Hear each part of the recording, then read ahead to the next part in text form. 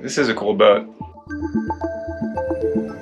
This is, uh, you know, I have a soft spot in my heart for 1980s monohulls, Absolutely. and this is definitely a world cruiser, heavy displacement, 62 foot little harbor.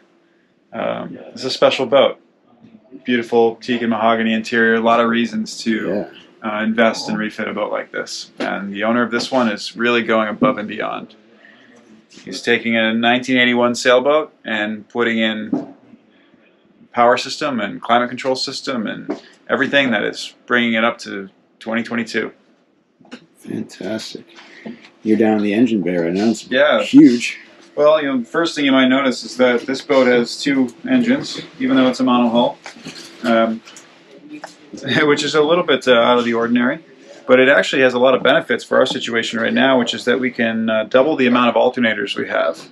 And using those alternators as our main source of power, we can store any surplus energy that comes off these energy, off these engines, Yep. in a big battery bank. Yeah. It's right here. Lithionics batteries. Huge battery bank, actually. This is a 48 volt bank, uh, which are going to be charged by two Integrel generators, which are going to be mounted right here to these Yanmar diesels. Those uh, will generate between 8 and 9 kilowatts of power uh, while the engines are running, and all of that gets stored quickly in that big battery bank to run all these systems. Now, what's wild is that a boat like this traditionally, uh, boats like this always have to run their generator and a third diesel engine to run all of their systems, especially the air conditioning. Uh, that generator used to be right here, right where the batteries are now. Um, It's like a Tesla worth of power. You know, all just stacked Almost. it used to be. almost, It's yeah. amazing. Absolutely amazing. Yeah.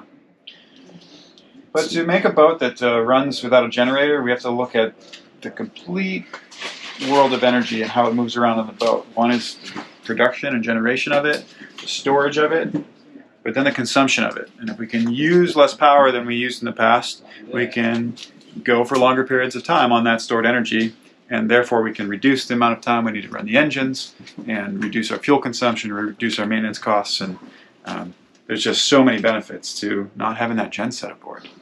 Not to mention the noise, the fumes, the it's uh, the, Yeah, so how is this air conditioning different from before? I mean, before, what did it have, and why is this different? Yeah, well, this is the new system right behind me here. This is a VRV air conditioning system from Termodinamica. This is their VRV20, it's called. And this is different in every way from what used to be here. In fact, what used to be here were uh, four self contained units, um, which is pretty much what everybody is familiar with, um, where you hook up seawater to it, power, some duct, and you've got air conditioning in various zones. Um, there's a number of drawbacks to the way it was done before, um, not the least of which is the amount of power that it consumed. When we shift over to this system, which is a single compressor, single condensing unit with multiple air handlers, uh, we have an enormous power uh, reduction, and it's quieter, and it uh, delivers a lot more comfort and faster cooling and more rapid dehumidification.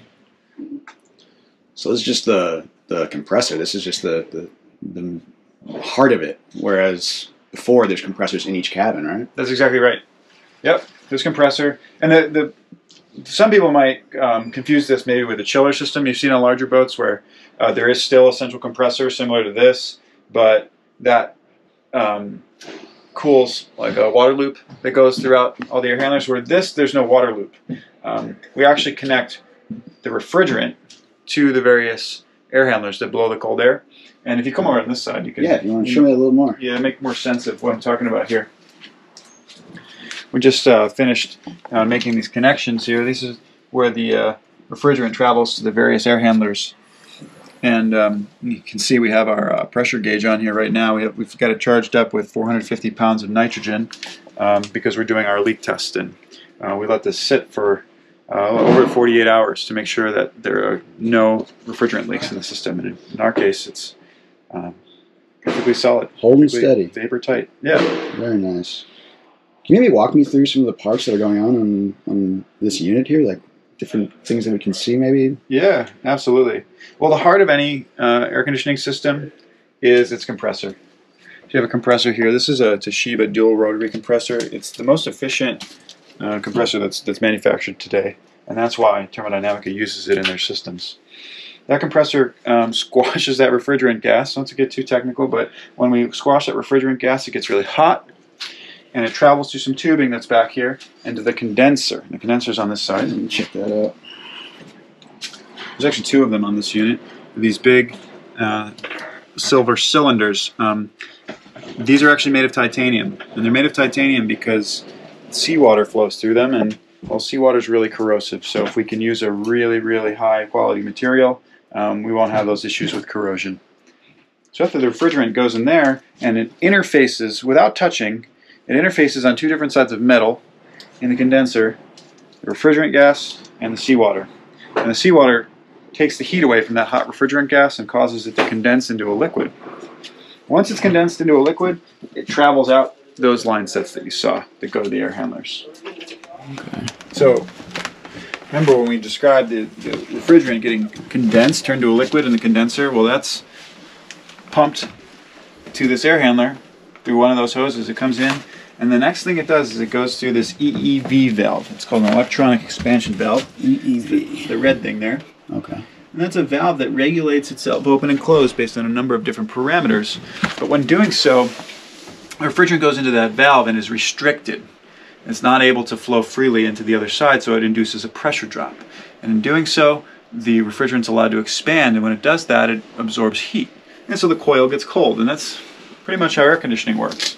So it flows through, the refrigerant flows through these copper pipes that weave back and forth, and then you have these aluminum fins. You've probably seen something like this, maybe in a home system or in your Yeah. car. Yeah. Um, very similar. The thing that's different is that that EEV valve works in concert with a number of different sensors to control the amount of refrigerant flowing into this coil so it's always working at the optimum rate.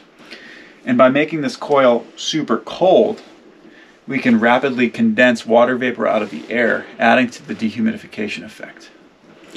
And why does rapid dehumidification matter?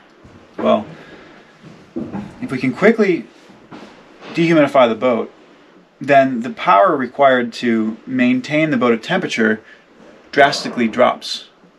So if you have a system that, that is struggling to cool the boat, it just is using maximum power all the time to try and maintain that. It takes, it takes more energy to condense water vapor out of the air. It takes more energy to dehumidify the air than it does to lower the temperature, if you think about it that way.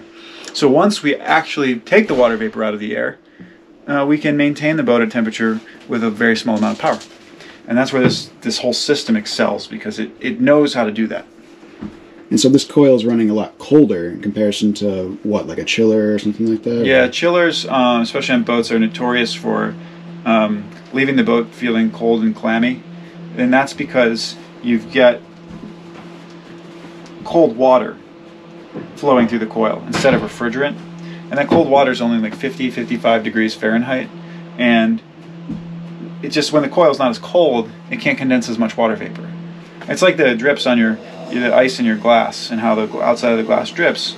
Um, that's because that glass is cooling the, the water vapor that's in contact with it and turning it into liquid water. Well, the colder the glass is, the more it's going to drip. And that's what's going on here. Now, that might be an oversimplification because there's a lot that happens behind the scenes um, with a really sophisticated control system and uh, lots of sensors that are all over this unit.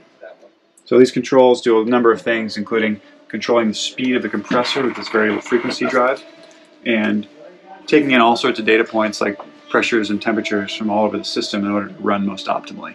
It's really cool. Looks like a pretty sophisticated piece of equipment.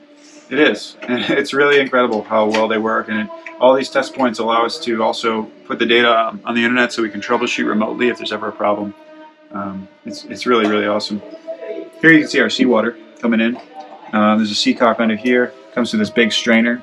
This, just remember, when this is running, it's you know the boat's going to stay climate controlled all the time, so it's running 24 hours a day. So we're, we're moving a lot of water, so we like to have a, put a really big strainer on there. The pump is mounted right on the unit, and then we're taking our discharged seawater uh, out the transom of the boat because this customer um, really wants a sleek look, and they're removing all of the through hulls on the side of the boat so that there's going to be no uh, visible seawater discharge on the side. So it looks like we have some hoses over here as compared to you know typically I guess they're what like copper or something like that. Yeah, if you're familiar with um, split systems, uh, which are very common in a lot of boats, where it's a similar concept where you have a you have a compressor and condenser that's separate from the air handlers. Usually, you connect them with some some copper line sets, we call them.